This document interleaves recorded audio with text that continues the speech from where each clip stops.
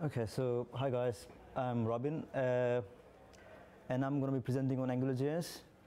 So how many of you have used AngularJS in any of your previous projects? Uh, just one person. All right, I think this is going to be interesting because this is a kind of a beginner's AngularJS session. It won't go into much detail, so I think you guys might benefit from this one. So I have uh, separated the session into four sections so it's easier to digest why you want to use AngularJS if you want to use AngularJS. Uh, starts with what is AngularJS and why should you use it, how to use it if you want to use it, and when should you not use it. So what is an AngularJS? Um, Wikipedia says it's an open source web application framework maintained by Google and community assists in creating single page applications.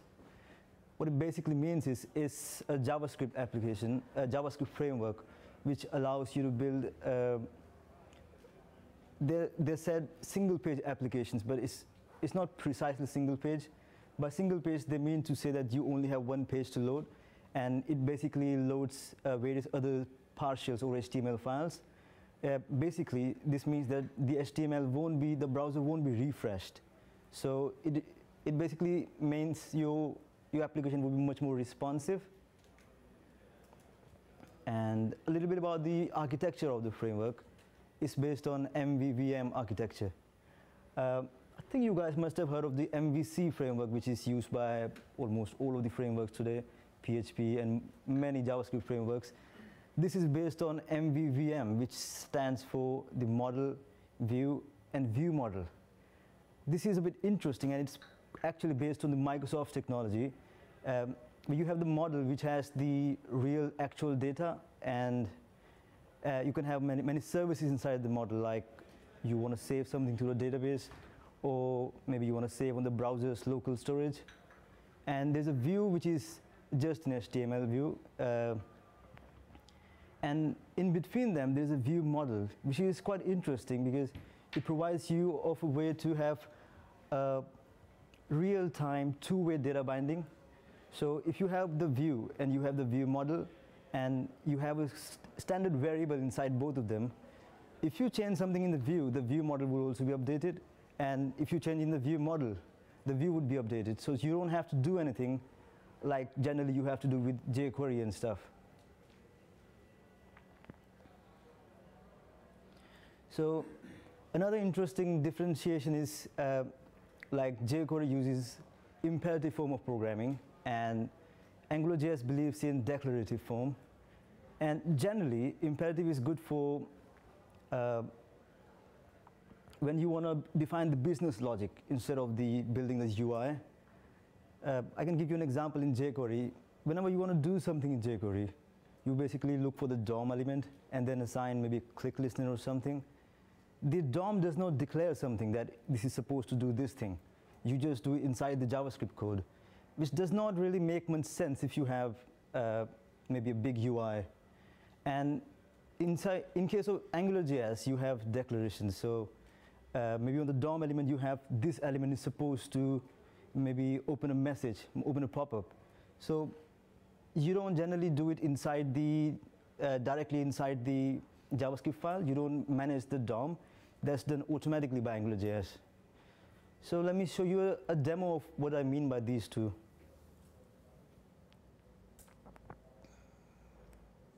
Okay, so this example is basically a simple uh, imperative versus declarative example, which does the same thing by one uses the imperative way of doing it, the other is the angular way of doing it.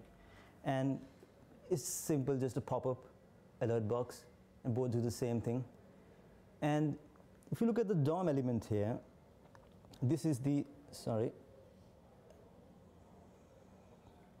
this is the anchor tag, and it basically has an ID, which is used by jQuery in the, inside the script. So the jQuery does it in imperative way, where it tries to find out the element, which is the imperative button ID, and then it, on click, it assigns a click listener to alert something. So if you look at the DOM, you, you have no way of knowing that this is going to click something. When you click something, it's going to open a pop-up or something. because there's no uh, description of the things it's gonna it's gonna do. But in case of Angular's example, which is below, you can see I have the same anchor tag, but now I have an ng-click directive, and which says do something. What it means that when, you, when somebody clicks on it, it's going to run this, this function called do something, and then you can look inside the JavaScript code that there is a function named do something. So it does the same thing, but slightly differently, which makes a lot of sense if you have a bigger UI, because it declares what you want to do instead of just hiding inside the JavaScript file.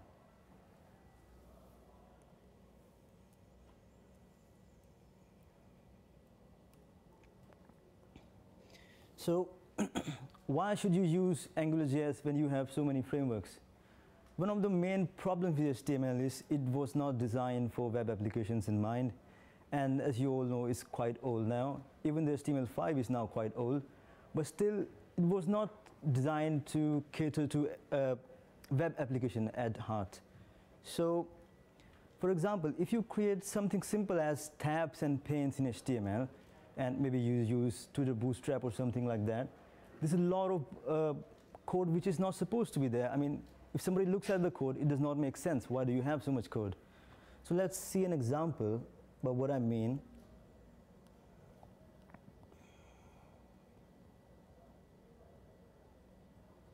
So this is just a simple uh, tabs and pins, and this uses um, your Bootstrap and jQuery. And inside the markup, you can see this is the markup for the tabs at the top, which is just uh, UL and LI and inside the anchor tags. So when somebody looks at it from the designer's point of view, it does not tell you anything that this is supposed to look like tabs. It's just a, a, a number of list items. And the tab contents is another div. And if you think about it in an in a normal human beings uh, uh, way of human beings think. There should be a tab and there should be some content. They don't generally think about I should have this list items and, and, and maybe another div which will have another div that will have a few items and then think about the CSS and JavaScript. It just increases the complexity if you have maybe hundreds of pages like this. And let's look at how you would do the same thing in AngularJS. So in here, I have this tabs element, which the name says this is a tab, so it's easier for human beings to understand. Even normal, uh, any person who's not used to HTML can understand it's supposed to be a tab here.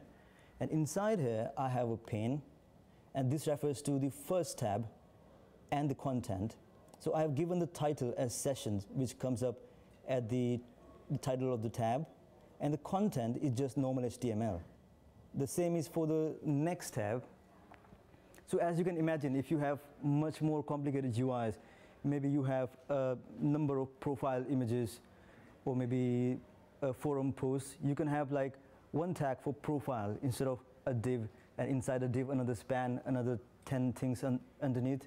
You can have maybe one, uh, one profile tag and all of your people, all of the developers in your team can use just one tag and it just basically reduces the complexity of your app when you look at the, at the markup, HTML markup.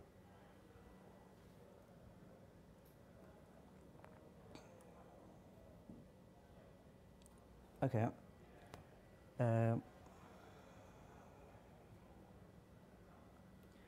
another, but I've already told about this benefit is extending the HTML vocabulary by using directives like in the previous uh, demo, I showed that we can have tabs and panes and other kinds of directives. Uh, these are called directives, by the way, which means that you can have, uh, you can make your own tabs, um, sorry, make your own HTML elements, and you can even make your own attributes, like maybe you have the tab and you had the title attribute. You can maybe have another kind of attribute, maybe uh, username attribute, something. So it basically allows you to extend the HTML's vocabulary. And like I said before, it has two-way data binding. So I explained a little bit earlier that you have the model and the view, and the view model and the view get synced, the data gets synced. So how does it work actually? I have this example which uses jQuery for doing the same thing. it's not exactly two-way in this example, but it kind of shows you the principle, the kind of thing I'm trying to prove here, which is you have this input field, and when I change something, in real time it changes it here. So I've bound this variable, uh, bound this this span tag, which is just just this, just sorry, this thing here. I bound this span to have the content of the input field. Uh, and this is a lot of code inside jQuery, even though jQuery is a really good, uh, very concise library. So this is the input field, and I've given it an ID of name. Inside the script, I'm trying to find the name and adding an input type of uh, listener. So whenever somebody changes something, it's going to fire this function inside here. This, and inside this function, I'm just getting the name to, to get the value of what I put inside the input field and changing the HTML of this span tag here. But let's look, this, look at the same example of how I would accomplish in AngularJS.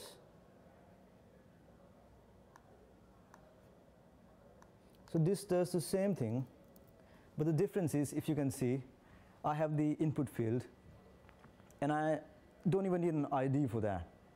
I've assigned a directive called uh, an attribute called ng model, which is a special kind of Angular's directive, which says that this is this basically assigns to the model.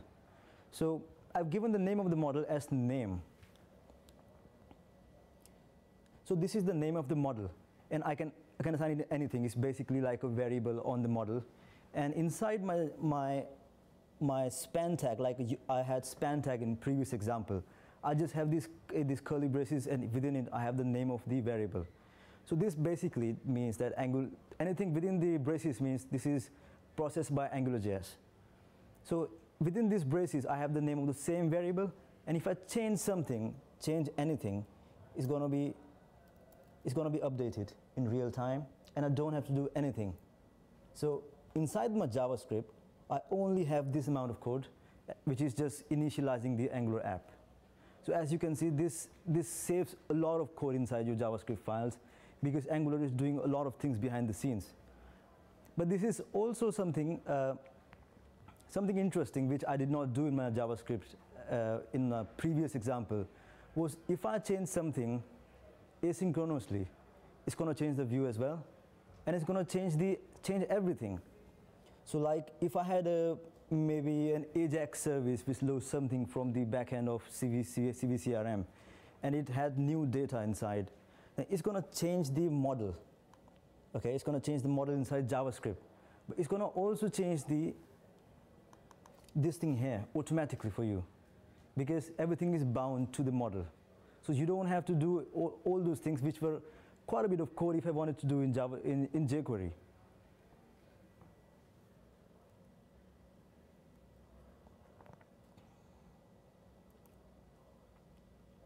The other reasons why you should use AngularJS, like it is really rapid prototyping. So if you have a tool you want to build, you want to test how it works, you can really quickly build it in AngularJS because you have all this pre-existing functionality like your directives are there, you have two-way data binding, you have controllers and many other things. It just makes your job much, much faster than you were if you were to use jQuery or something like that. And it promotes a really good application structuring. Um, it does not force you to do that. Like in my previous example, I just had Angular module. I just declared the Angular module. I did not have any code, but it allows you to have maybe a controller, a directive, services, factories. So there are many ways to organize your code, which is quite good if you have a really big application, which like maybe 10,000 lines of JavaScript files, JavaScript code. And if you have something similar in jQuery, it does not provide you with structuring ways. So you have to manually think about structuring, and it's likely that it's going to change with, with developers. Each individual developers might have different way of structuring code, but it provides you a nice way, but it does not force you to do that. So you have that freedom as well. And improve the readability of your application code, like I can have my custom directives and stuff like that. I can have my controllers, I can have uh, factories, which just makes sense because it's just software engineering. And one of the most powerful things in AngularJS is testability.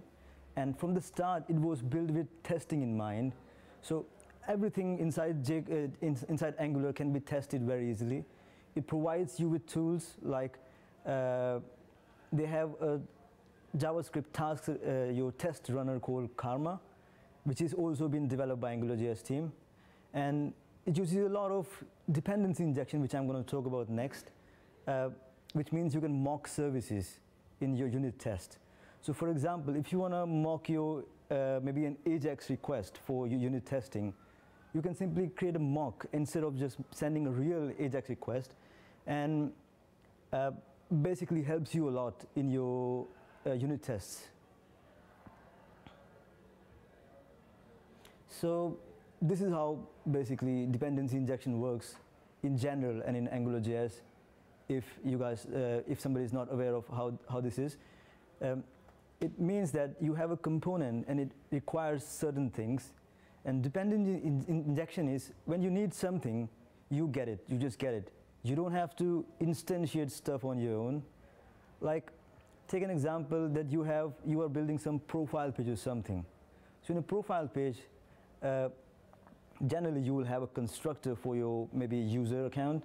Then you will create a user, you instantiate a user, and you have to do a number of steps like instantiate a user, instantiate maybe uh, feeds, instantiate maybe configuration of the application.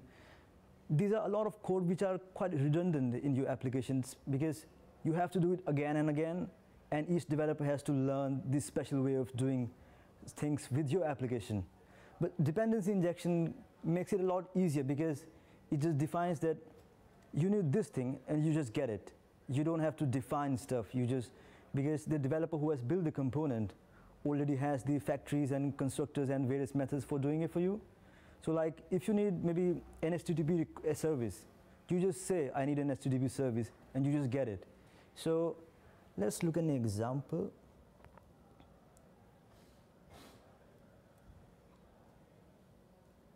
I don't think I have put an example for this one, but I can still show you.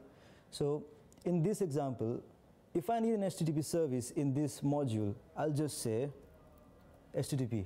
And it basically means that Angular will try to find the HTTP service. It will instantiate um, instance of the HTTP service, do all of the configuration behind the scenes, and will provide you with the HTTP service. So this way you can do, I mean, basically reduces a lot of code which is not required. And this is not a only pattern which is used in AngularJS. It's quite used in many other frameworks like Laravel and PHP and stuff like that. But it's good to see this, this catching on in JavaScript world.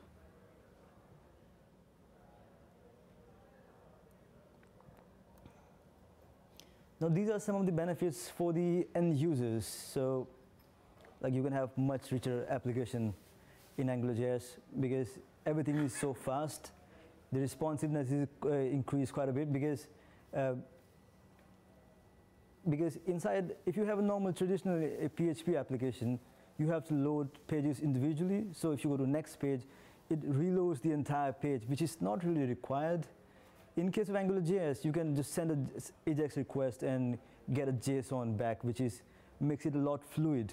So users don't have to wait. You can have fluid animations from one page to another one. Uh, it just basically means that users don't have to wait for too long. And it reduces the bandwidth as well. So uh, like take an example of a normal PHP page. When somebody loads it, it has to load everything again and again on every page. And if the browser you're using it does not have good caching, uh, like maybe you're using an old browser, it does not have good caching, it has to load again and again the same things, maybe the same image, which could be a waste when you're using maybe a mobile device for accessing your, your website or application. But if you're using AngularJS or something like that, you can send a AJAX request to maybe a service, HTTP service, maybe an API backend you have, and you only receive what you need, like JSON data, which is like nothing when you compare it to uh, the entire page which loads. So it saves a lot of bandwidth, which is especially useful in mobile cases. So if you've decided that you like AngularJS till now, then how do you use it in CiviCRM? it's actually really simple in 4.5 and up because the core team has done a great job in integrating the hooks for creating Angular pages. But when I started using AngularJS in CiviCRM, it was in 4.4, so I had to do a lot of manual work to get it to work. It, it's not too hard, but the 4.5 makes it really easy. The way you do it, you just create your extension as usual, uh, nothing special about that. You just add one hook, which is this uh, Angular modules hook, and inside this hook, you define your extension, the extension's name, the JavaScript file, and optionally, you can also specify a CSS file, and uh, you can also specify multiple JavaScript files, multiple CSS files, so you're not restricted to just one file.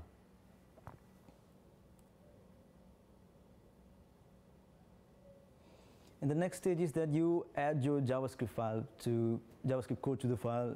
Uh, this is a self-invoking function expression. If you're not aware of this, it just basically wraps all of your code within a function, which just invokes automatically. It's quite useful when you want to uh, maybe don't want a global scope of your application and don't want it to conflict with other parts of your application. Um, inside this, we're using the reference to Angular and CRM dot dollar and CRM dot underscore. I think the underscore stands for Lodash. I'm, I'm not 100% sure. But the dollar is for the, the jQuery, and Angular is just the Angular library. And inside this, you have the CRM provides a helper function called resource URLs. Basically allows you to get the URL for the resources folder. Um, and then after this, you just have the standard Angular code, which is like you define a module, and then you configure that module. And in this configuration, you're just setting up a few routes. Like if somebody goes to this URL slash examples, it will open this partial, which is the HTML file, and run this controller. And the controller is explained below, just an example controller. Um, yeah, it's basically really simple with if you want to use it on 4.5.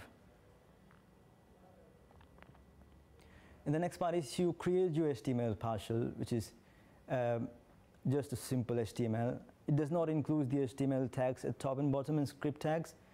It, as the name suggests, is a partial, which means part of your code, is part of your HTML. So you can have multiple partials, maybe one for your profile, maybe you create a profile and you create a partial for that. Another partial, maybe a listing of profile uh, number of users. So you can have multiple uh, partials and load them as you want anytime um, because it uses Ajax behind the scenes. And by the way, this implementation is available on this URL, which is just CiviCRM's uh, GitHub account. If you just go to the 4.5 branch, you'll probably find this.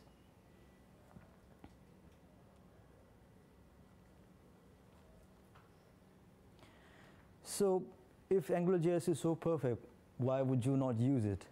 There are some times when it does not make sense to use AngularJS, like if you have a really simple application, like uh, maybe a one-page application, which just details of some stuff, like maybe a profile page with only the name and address of someone, you don't generally need AngularJS because it's going to add a lot of overheads.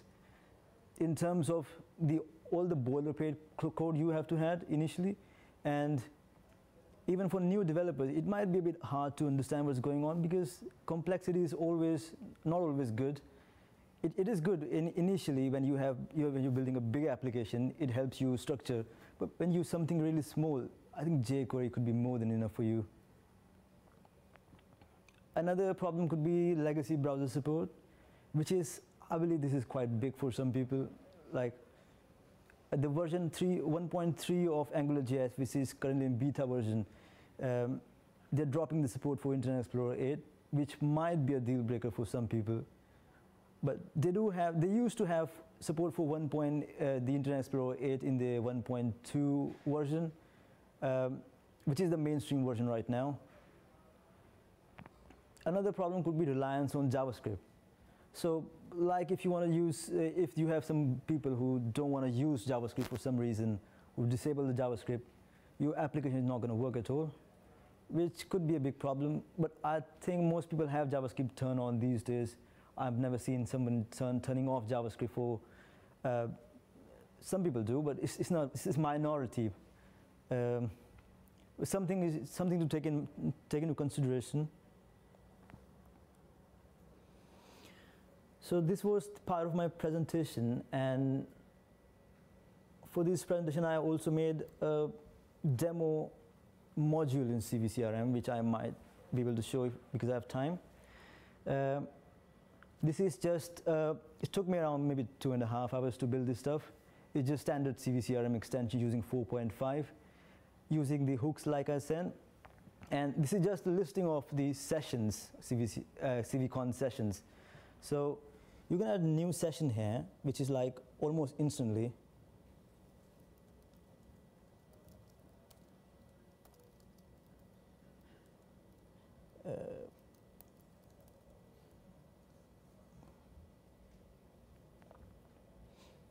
So it does not refresh the page, it just shows up the notification which is using CiviCRM's uh, standard notification. And uh, it basically uses Ajax and it's quite responsive. So you delete stuff, you add stuff, you can edit stuff, and it's really quick and very good on the on the bandwidth if you want to use maybe a mobile device or something.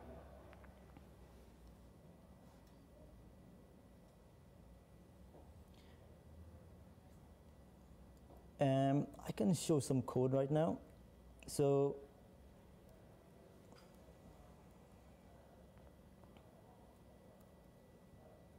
So this is uh, this is basically the code for registering your your module if you want to use AngularJS, uh, which basically you define your extension's name and your JavaScript files as an array and the CSS files. And that's it. That's, that's all you have to do inside CiviCRM. And the rest is your JavaScript file, which is inside this directory, JS. This is the same stuff which I just showed uh, some time ago, but it's slightly more because this is an application. And I basically have two routes here. One is for the slash civicon. Another one is for slash civicon slash new, which is for when you want to create a new session. And the third one is for civicon slash edit slash slash id slash edit, which is for editing a previous previously a previous session. If you notice here, the ID has a colon be, uh, before it, which means that this is something which, is be, which can be passed, which can be passed by the route, uh, which can be retrieved uh, inside your controller. So this is kind of like a variable. It changes, it's not fixed. So I can have maybe a number, one, two, three, four, to basically implement a RESTful URL. Uh, like in this, if you just, if I just hover into this link, you can see it's civicon slash one slash edit. And if I look at the next one, it is slash two slash edit. And the two basically refers to the ID of the session. So I have this one. This is the controller for the listing of the sessions. And this is the controller for editing the session. And I'm using the same controller for also when you're editing and when you're creating new one. I'm just reusing it a little bit.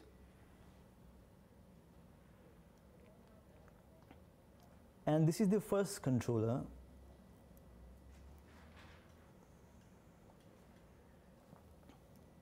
And basically, the first line just says that uh, some of the uh, configuration for the HTTP request I'm going to make to the CiviCRM's RESTful URL, which is slash CiviCRM slash Ajax slash REST. So the top one is the entity. You just give the entity, the name of the entity, which is the Civi CiviCon session which I have built. Then the action you need, which is the get. And um, this code basically is what actually calls the, pass, uh, the post the request to the Civi's, CiviCRM's uh, REST, REST backend basically.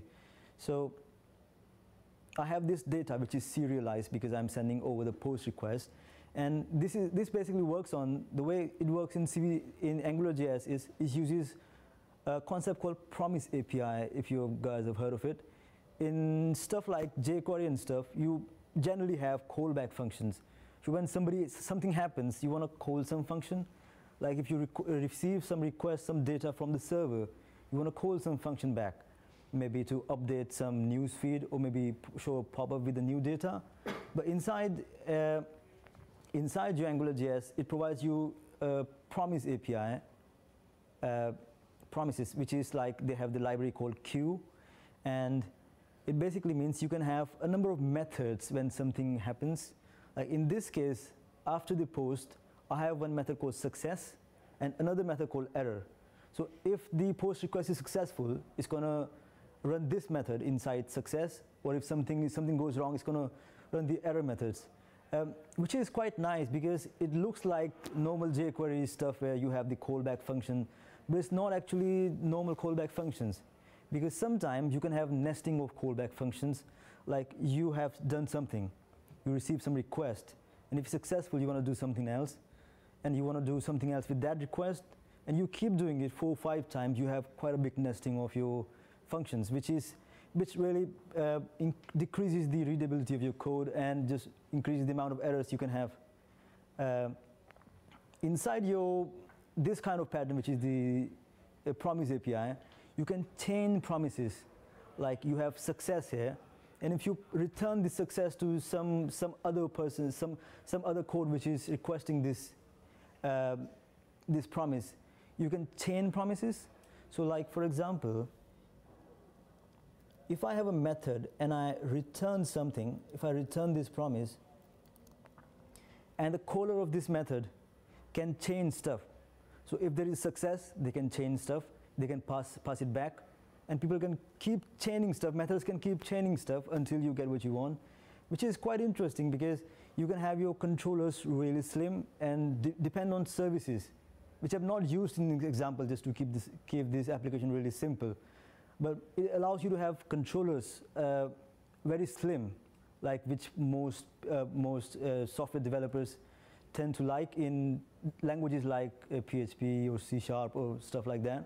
So you can have a very, very slim controllers and you can depend on your services, which are like your models, you can say, in other languages, in MVC frameworks. And in services, maybe you can have a service to retrieve uh, profile data. So in here, you can, in, inside your controller, you can just have, give me profile data dot get profile. And it's going to do all those behind the scenes, and that will return a promise to you. And you can use that promise to do whatever you want inside your view uh, which really makes your controller really slim and easier to maintain.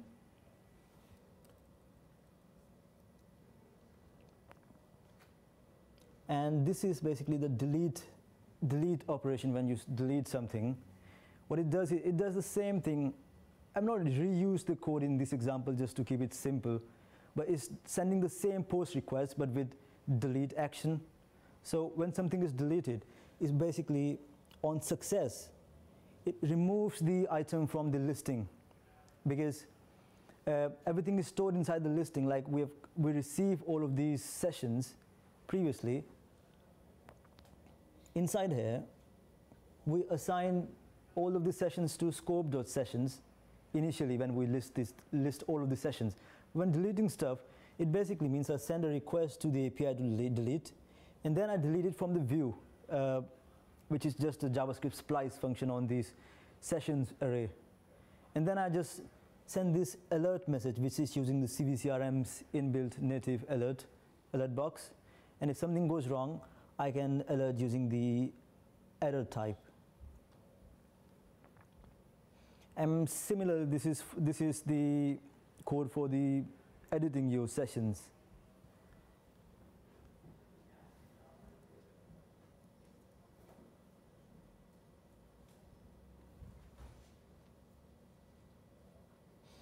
Yeah, all of this code I'm going to put on GitHub so you guys can just play around a little bit and maybe learn something if you want to try something new.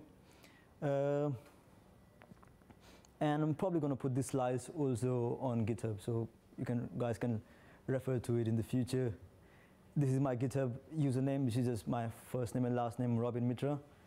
And if you want to follow me on Twitter, if you want, I post some Angular stuff sometimes, and my website. That's it, guys. Any questions? Yes. Um, why Angular and not something like Backbone or Ember? Um, could you evaluate sort of several of these frameworks and settle on Angular for a reason? Yes, uh, Backbone is, is, is a good framework, I must say. But Angular is kind of a different way of handling this beast. Like in Backbone, you have a lot of uh, boilerplate code which you have to do in order to achieve something simple. And in AngularJS, you don't have to do that. It does a lot of things. And another important thing is the philosophy AngularJS has. Like AngularJS believes in extending the functionality of HTML instead of overriding it. In Backbone and Ember.js, those kinds of things, you override stuff. Okay, you provide your own functionality instead of using HTML's functionality. So, like I showed you in the example, you can have directives and stuff. Uh, even the routing inside AngularJS, um, it's it does not, it uses standard HTML href. It does not use anything fancy like uh, another kind of directive. Most of the stuff, it tries to reuse HTML and just extend it as a language.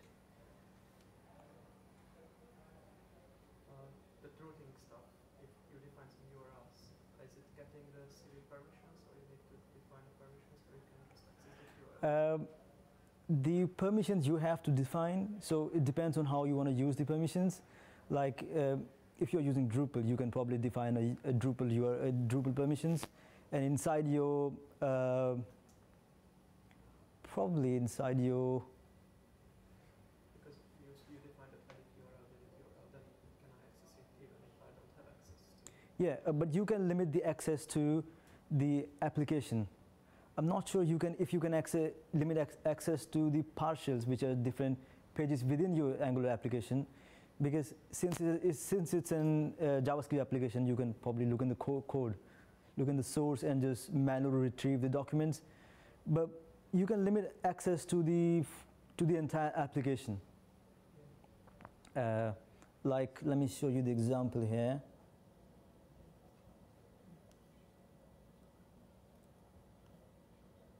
You can probably limit the access to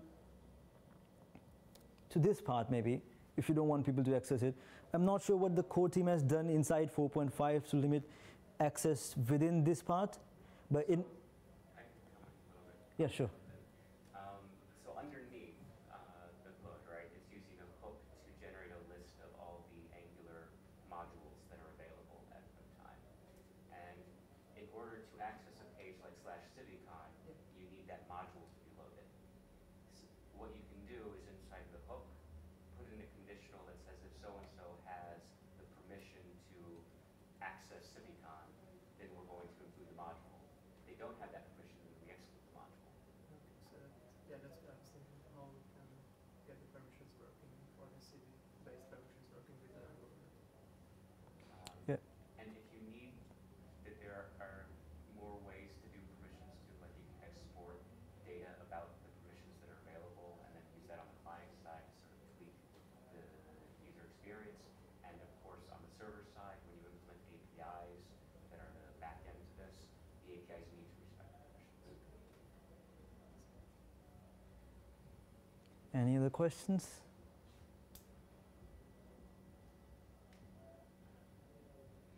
Right i think that's about it. Thanks guys